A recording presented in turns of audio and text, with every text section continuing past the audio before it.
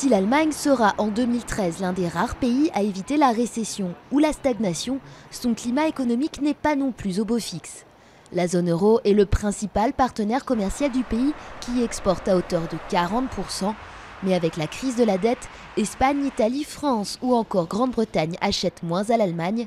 Résultat, un net recul de 9,1% des exportations sur un an.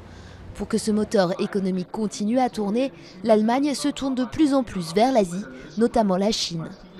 Résultat de ce début d'essoufflement, les prévisions de croissance ont été abaissées pour 2013.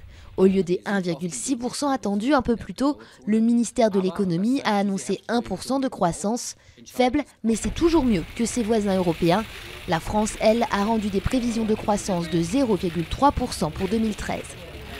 L'Allemagne peut d'ailleurs compter sur son marché du travail vigoureux pour se maintenir.